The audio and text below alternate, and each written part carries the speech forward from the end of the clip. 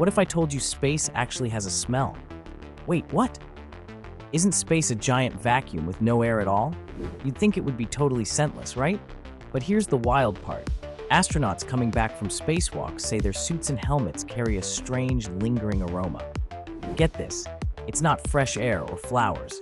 They describe it as smelling like burnt steak, hot metal, and even gunpowder.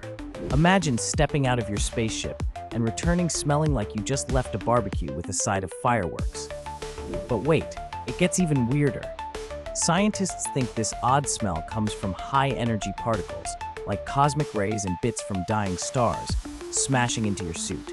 When you open the airlock, these particles mix with the oxygen inside the ship, creating that unforgettable, burnt, metallic scent. So next time you see an astronaut, ask if they've ever caught a whiff of space. It's definitely not the smell you'd expect from the final frontier. If you could bottle the smell of space, what would you name it? Drop your best space perfume ideas in the comments. I can't wait to see what you come up with.